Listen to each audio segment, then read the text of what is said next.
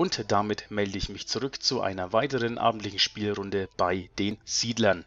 Wir haben ja das letzte Mal das sprichwörtliche Fass zum Überlaufen gebracht und gerade als zukünftiger König sollten wir natürlich schauen, dass wir wieder Herr dieser Lage werden. Von daher ein ganz kurzes Intro und direkt geht's hinein in diese Karte oder in diese Mission. Das eine schließt ja das andere nicht aus. Bis gleich.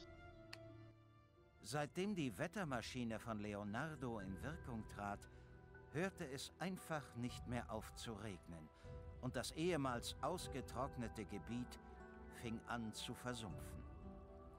Es regnete Wochen, Monate, unentwegt. Die anfängliche Dankbarkeit der Bewohner Clay Courts schlug mit jedem Regentropfen ins Gegenteil um. Sie nannten die Helden nunmehr ihre Feinde, denn erst durch sie war dieses Gebiet völlig unbrauchbar geworden. Sie zwangen sie, so lange zu bleiben, bis das Gebiet wieder in seinen früheren Zustand zurückgebracht sei.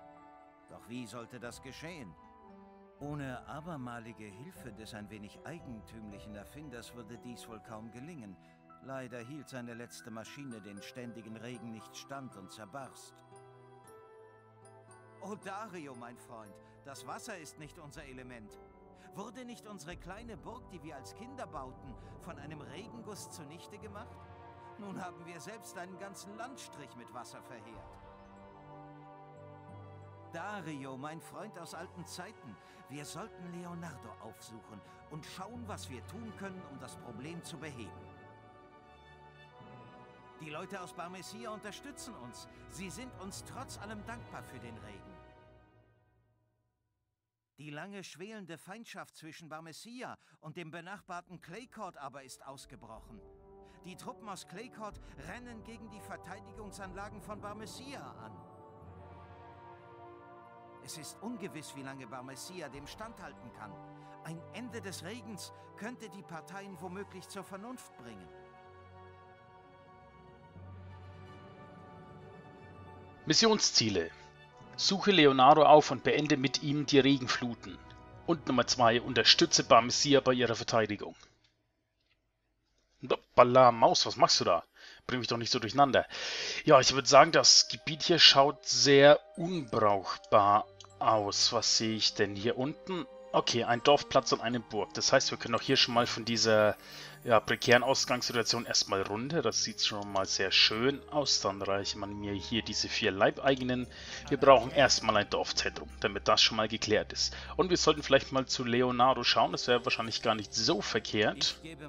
Ich gehe mal stark davon aus, dass wir dafür in diese Richtung müssen. Und oh, oh, oh, ich sehe schon hier die Möglichkeit, dass hier ein Rohstoffschacht ist, wenn ich hier diese Konturen richtig deute. Und Ah, wenigstens, wenigstens ein ordentlicher Lehmschacht mit 12.000 Einheiten. Das ist doch für den Start schon mal ganz angenehm. Ja, Dauerregen monatelang und die ganze Gegend ist quasi ein großes Sumpfland. Wobei ich jetzt so aus rein persönlicher Sicht sagen würde, zum aktuellen Wetter hier bei mir äh, im Zimmer mit gefühlten 45 Grad, ohne mich beschweren zu wollen, mir wäre ein gewisses Maß an Dauerregen in diesem Fall doch eindeutig lieber. Aber gut, wenn ich da jetzt mal so unauffällig aus dem Fenster rausschaue, da zieht sich schon wieder ordentlich was zusammen. Demnächst sollte es wahrscheinlich wieder ordentlich regnen, also auch hier bei mir und dann ist wieder alles gut. Da kann man vielleicht mal wieder nach draußen gehen, ohne nach zwei Minuten schon das Gefühl haben, dass man verbrennt. Ja, wie auch immer, auf jeden Fall meine Jungs sind hier fertig, oder unsere Jungs. Wir sind ja hier als Gruppe unterwegs, wortwörtlich. Und die dürfen hier erstmal den Lehmschacht besetzen. Und wir haben ein bisschen Geld übrig, da holen wir uns doch gleich mal noch vier Leibeigene. Denn was wäre denn eine Wirtschaftssimulation oder ein Wirtschaftsspiel ohne Holz? Und dementsprechend brauchen wir natürlich auch die Holzeinheiten wieder. Diese Überleitungen schon wieder am Anfang. Ich bin fasziniert von mir selbst. Was so will heißt wie, äh, ich habe das wahrscheinlich in zwei Minuten eh wieder vergessen. Nun gut, wo ist denn jetzt hier der Weg zu Leonardo? Ich glaube, wir sind sogar fast hier. Das schaut schon mal ganz gut aus. Okay, ich dachte schon, die drehen um. Nee, aber bis jetzt ist alles gut. Moment, Moment, Moment. Er hat getan, was wir wollten. Dann bau uns doch sofort eine Wettermaschine und das Problem ist gelöst. Okay, es wäre natürlich zu einfach, aber ja, da müssen wir natürlich gucken, wie wir hier am schlausten verfahren. Wir bräuchten eigentlich wieder eine Wettermaschine, aber können irgendwie keine bauen. Das finde ich nicht so gut, wenn ich ehrlich bin. Und, ah, okay, also es ist in weiten Teilen noch die Karte vom letzten Mal, von der letzten Mission, natürlich jetzt mit entsprechender, oder auf entsprechender Wasserbasis. Aber dann kommen wir trotzdem mal hier ums Eck rum, der sagt uns bestimmt, was er braucht und was er nicht braucht. Ich hoffe bloß, wir werden in der Zwischenzeit nicht angegriffen. Und ich hoffe, dass da unten trotzdem noch irgendwo wieder eine Eisenmine für uns zu holen ist. Nach Möglichkeit ohne Kerberos. Apropos ohne Kerberos, wir können doch über das Diplomatie-Menü mal spicken.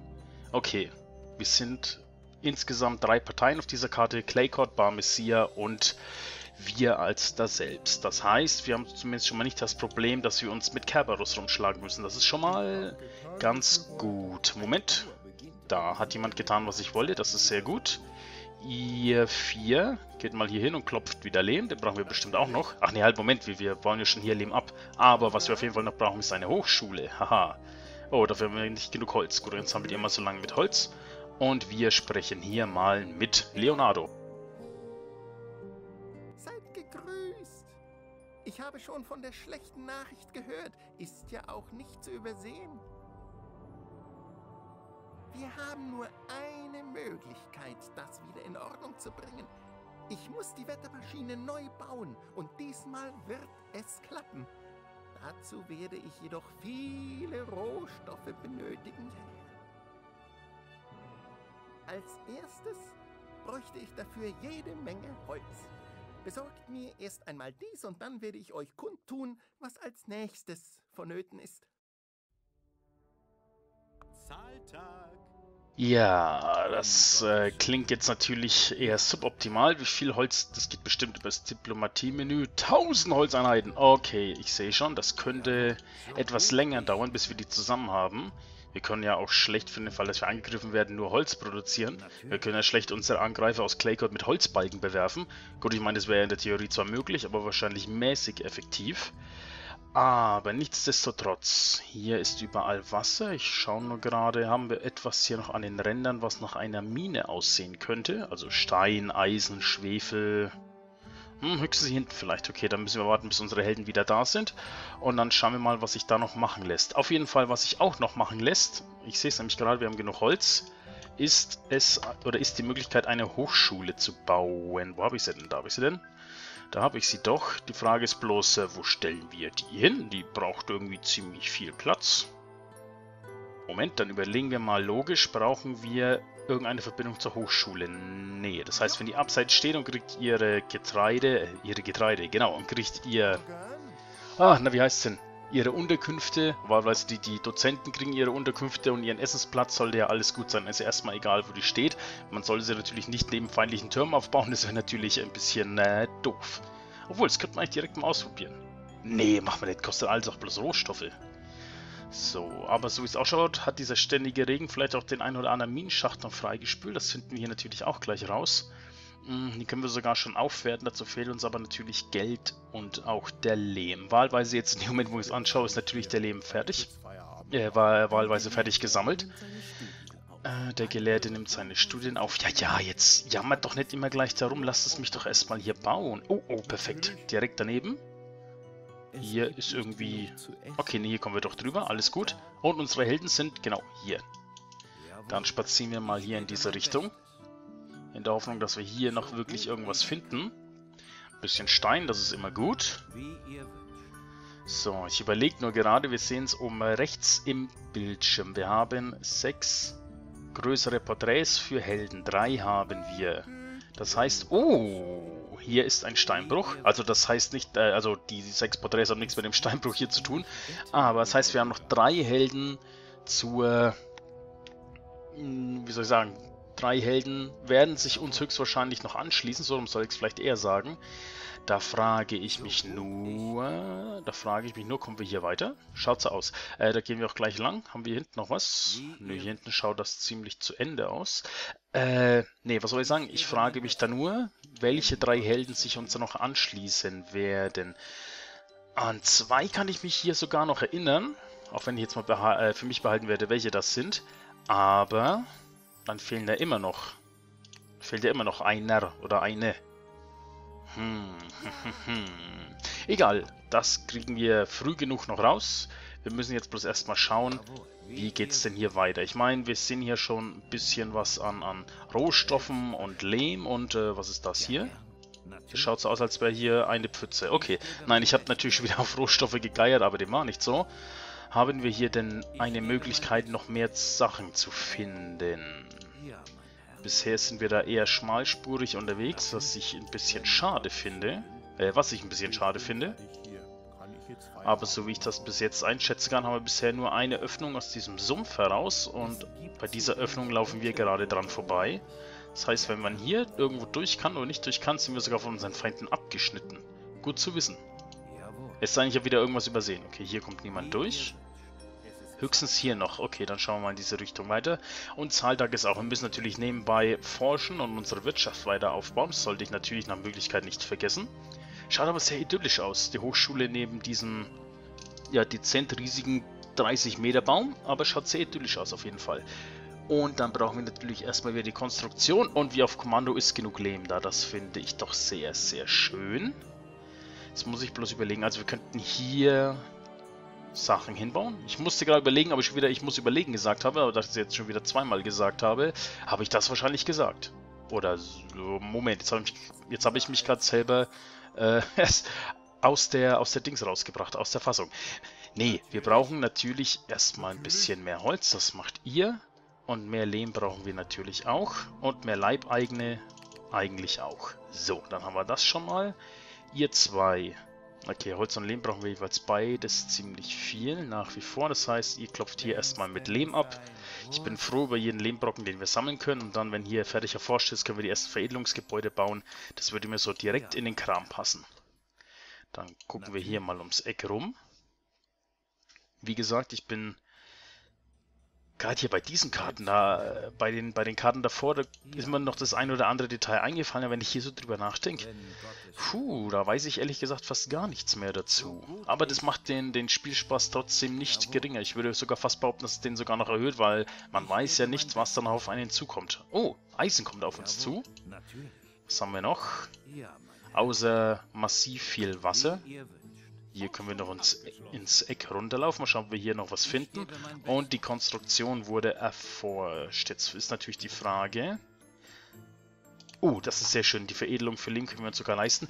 Was ich vorhin noch sagen wollte, ich überlege, bauen wir hier Veredelungsgebäude hin oder lassen wir hier den Platz frei? Das andere ist, wenn wir irgendwo ein Lager hinsetzen, was ich ja auch vorhabe später, gerade auch für die Marktplatzoption, ähm, können die ganzen Handwerker auch da die Rohstoffe rausnehmen, aber ich wüsste nicht, wo wir das jetzt schon hinsetzen sollten. Das heißt, wir setzen erstmal hier hin das erste Veredelungsgebäude, das muss er nicht alleine machen.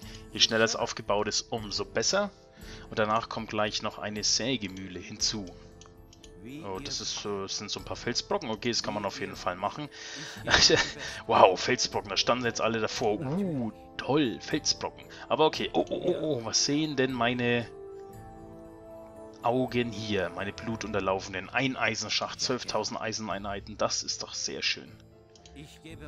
Oh, abgesoffene Häuser, das ist jetzt weniger schön. Und noch mehr Lehm.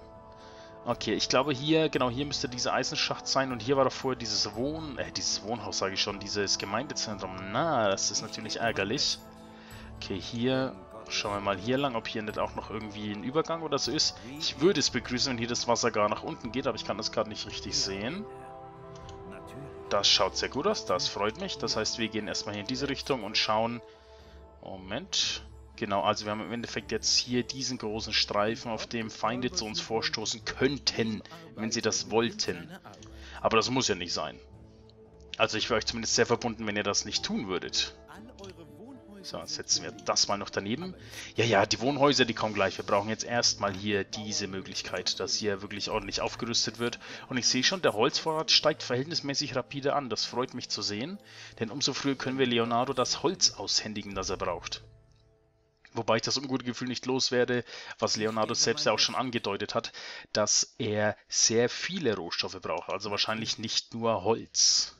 Und eine Sache, die ich mich noch gerade so frage, weil mir das gerade so einfällt, ähm, wir sind von den Leuten aus Claycott Tage, Wochen, wenn nicht sogar Monate lang aufgehalten worden. Damit uns jetzt nach ein paar Monaten einfällt, wir äh, könnten noch mal schauen, ob wir noch eine Wettermaschine bauen können. Hätte man die Idee nicht irgendwie vorher haben können oder so? Gut, ich meine, auf der anderen Seite kann man natürlich sagen, wir haben gewartet und gehofft, dass der Regen wieder aufhört, aber das so tut er momentan. Oder, wie soll ich sagen, er tut es ja auch die ganze Zeit nicht. Oh, noch ein Siedlungsplatz, das ist sehr schön. Na, komm, ich möchte gerne dahin äh, zoomen, dann machen wir das so. Ach so, ja, ja, ja, genau, hier die sechs Gelehrten und der äh, Bauernhof, äh, wir sagen, Bauernhofbedienstete sind sieben Mann, das ist natürlich einer zu viel. So, dann setzen wir hier erstmal noch ein Haus hin. Und ihr zwei baut mir hier mal bitte noch ein, ein, ein, einen Bauernhof. Ich habe den Namen gerade gesagt, haben wieder vergessen. Hei, hei, hei, hei, hei. Okay, dann gehen wir hier mal weiter nach unten. Hier muss doch irgendwo noch was sein. Ich meine, wir haben schon ein paar sehr wertvolle Sachen gefunden, aber da merke ich schon wieder, wie ich gierig werde und hier das eine oder andere natürlich dann eben noch mitnehmen möchte. Und gerade so als, als, als, äh, soll ich sagen, als zukünftiger Kriegsherr in diesem Spiel würde es mich auch interessieren, was wir jetzt vielleicht ebenfalls an neuen Einheiten zur Verfügung haben. Das könnte alles noch sehr interessant werden. Wir müssen bloß schauen, dass wir hier alles entsprechend aufgerüstet bekommen. Wo ist denn, wo ist denn, wo ist denn? Da, die zwei suche ich, sehr schön. Wie auf Kommando sind die zwei fertig, das ist sehr löblich. Ja, ja, ja, ja. Oh, und alle Leute sind untergekommen zum Essen. Nicht schlecht, das hätte ich jetzt nicht gedacht. Ihr habt nicht genug Lehm. Sieben Lehm, los, eilt euch. Mir dünkt nach sieben Lehm. Wunderschön. Kann ich den hier irgendwo noch hinsetzen? Nein, nein, nein. Dann setzen wir den da unten hin. Ist vielleicht jetzt nicht die Nonplusultra-Lösung, aber es soll ja erstmal nur seinen Zweck erfüllen. 400 Taler würde uns dieses eine Upgrade kosten, aber ich bin momentan fast noch ein bisschen geizig, wenn ich ehrlich bin. Hier fehlt uns ebenfalls Lehm für den Ausbau, aber den werden wir auch bald, äh, wie soll ich sagen, durchführen müssen, gerade wenn wir hier weiter forschen möchten. Apropos. Mm, Komm, wir haben Holz und wir haben Taler, dann erforschen wir erstmal die Wehrpflicht. Und ihr zwei, ihr arbeitet doch schon wieder nichts. Das sehe ich doch sofort. Geht doch mal hin und... Haha, ich weiß, was ihr tun. Klopft Steine. Und dann holen wir uns trotzdem mal zwei Leibeigene. Noch zwei Leibeigene, wollte ich sagen. Und holen uns hier den Ihr Stein braucht mehr Holz. Bro, würden uns den Steinbruch holen, wenn äh, wir genug Rohstoffe hätten, wollte ich sagen. Dann schauen wir doch in der Zwischenzeit doch mal hier lang. Ich frage mich bloß einmal mehr. Ähm, achso, ja genau, der, äh, der lange Regen, der hier ja schon die ganze Gegend in ein Sumpfgebiet verwandelt hat. Ähm, man sagt doch eigentlich, kaltes Wasser kühlt die Gemüter. Wieso bricht denn dann erst recht ein Krieg aus? Gut, ich meine, es ist natürlich offensichtlich. Wir hatten es ja gerade schon. Die Leute von Claycourt äh, wohnen jetzt quasi nur noch in dem riesigen Matschtümpel. Was mich ehrlich gesagt auch so ein bisschen stören würde, das gebe ich ja gut und gerne zu. Und wir haben was erforscht. Ach ja, die Wehrpflicht, das habe ich schon wieder vergessen, was ich in Auftrag gegeben habe. Eieieiei, okay. Ach nee, hier war doch äh, ums Eck rum irgendwie das Versteck, wo wir diese Bogenschützin, glaube ich, hatten. Also hier äh, konfrontiert hatten mit, mit äh, ihrem Diebstahl. Aber irgendwie scheint hier ziemlich wenig Lust zu sein und wir sind ja schon ziemlich weit auf der Karte nach Westen gelaufen. Was natürlich nicht schlecht zu sein muss, aber... Oh, was ist das? Ein Tunnel, Ein- und Ausgang, in den wir wahrscheinlich nicht hineingehen können, oder? Oh, wieso? Wieso ist da eigentlich... Ja, äh, wir gehen doch schon wieder, alles gut. Wer sagt eigentlich, dass wir hier nicht durch dürfen? Ich sehe da keinen Torwächter. Also hier, ne? Also eigentlich dürften wir das ja wohl durch. Ich meine, wir sind König. König hat Sonderrecht. Sonderrechte, meine ich natürlich. König hat Sonderrecht. Und König hat nix Deutsch. Dass der natürlich gleich wieder sich echauffieren will, dass er nichts zu tun hat. Äh, also nichts zu tun mit dem Gebäudeeinsturz. Ja, ja, ja, komm, Junge, an die Arbeit. Dumm schwätzen ist meine Aufgabe. Fahren Sie fort. Äh, Sichtweite von Gebäudehöhen kommen die 400 Taler, die lasse ich jetzt hier einfach mal springen. Ich bin ja reich wie ein Scheich, wahlweise reich wie ein König. Und dann holen wir die Bildung auch gleich noch hinzu. Jetzt muss doch hier irgendwo noch was anderes sein außer Matsch. Das kann doch gar nicht sein. Gut, ich meine hier die Leute von... Oh, da liegen schon sehr viele Tote. Wahlweise sehr viele Männer haben hier ihr Ende gefunden. Ich hoffe bloß, dass die Ballistertürme das so lange aushalten, dass wir dann nicht zur, zur Unterstützung laufen müssen. Weil ich wüsste nicht, wie wir da hochkommen sollten. Also wenn sich die Position der Städte nicht verändert hat, müsste ja eigentlich hier, irgendwo hier, wo es blinkt, genau da bei, bei Dario, ich habe es gerade gesagt, äh, müsste ja hier irgendwo noch äh, Claycourt sein, also die Stadt. Was aber dann wieder im Umkehrschluss heißt, wir müssten hier erst Truppen vorbeischicken. Dann ist natürlich äh, schwierig, da rechtzeitig hinzukommen. Okay, große Wohnhäuser, Motten. Okay, also, die sind schon mal hier. Vielleicht können wir uns hier trotzdem vorbeischleichen. Äh, Erik läuft da... Wo läuft Erik hin? Erik läuft da oben rum. Also es könnte sein, dass die uns in Ruhe lassen.